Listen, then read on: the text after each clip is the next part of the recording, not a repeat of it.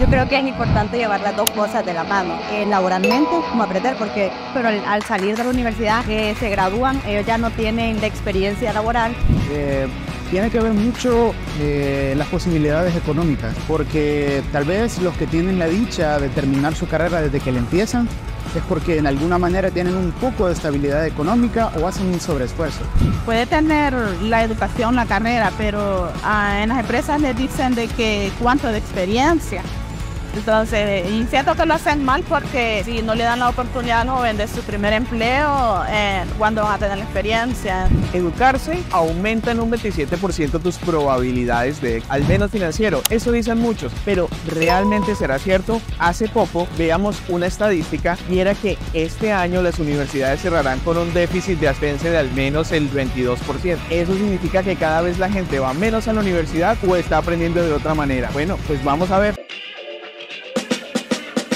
Sabemos que emprender no es para todos y es por eso que en Redbox hablamos sin tantos rodeos de lo que implica dar la transición de un emprendimiento a una gran empresa. Nos basamos en las experiencias de gente que ha tomado riesgos y ha hecho lo necesario para sacar adelante sus proyectos. Soy Freddy Oyuela, tu amigo de siempre y quiero que me acompañes junto al equipo de Redbox por el retador mundo del emprendimiento. Acompáñame a hacer la diferencia. Algo muy importante es que la educación reduce mucho la incertidumbre porque el conocer sobre un tema te ayuda más a tomar decisiones. Y si bien es cierto que en el ámbito del emprendimiento no siempre vas a estar preparado para todos los temas para los que te va a tocar tomar decisiones, aprender o tener algún conocimiento básico es muy importante porque eso te va a permitir reducir la incertidumbre, tener más certeza de lo que vas a decir o simplemente tener acceso a la opinión de otras personas que ya han pasado por ese proceso. El ámbito del estudio nos da ciertas maneras como de poder resolver problemas que nos dan en la vida día a día. Eh, la experiencia vale mucho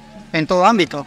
Eh, la educación, pues, por ende, también vale bastante, ¿verdad? Entonces, para mí, las dos son importantes. La educación, bueno, no sé, la experiencia, bueno, no sé, de las dos formas creo que, que pongo a pensar qué es lo que, lo que, lo que se aprendí en la universidad, pero también lo que, lo que estoy aprendiendo en la universidad y también lo que estoy aprendiendo ahora. ¿Qué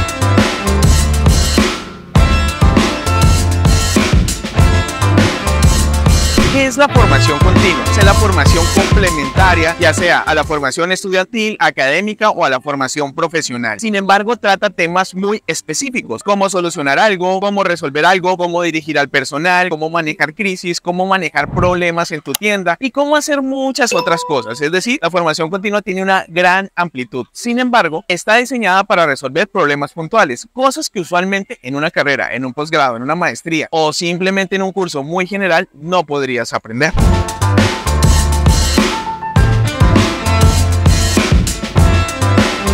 Eh, porque considero yo que a nivel nacional e internacional la persona graduada como que tiene más, más valor, por decir así.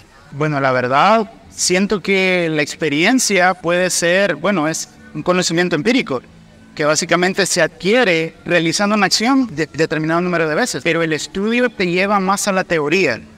Si tenés la base de estudio, luego va la práctica. No se puede adquirir eh, solamente una base teórica y sin tener ninguna experiencia, al contrario. Pero siento que es demasiado pedir solamente experiencia y no estudio. Al salir de la universidad, eh, se gradúan, ellos ya no tienen la experiencia laboral para poder, eh, digamos, realizar algo, porque ya no es, no es lo mismo. Se está trabajando y estudiando a la vez, se va aprendiendo de las dos maneras. Entonces, creo que uno siempre tiene que ir eh, pensando en qué mejorar, porque uno siempre tiene que ir aprendiendo, porque siempre hay cambios.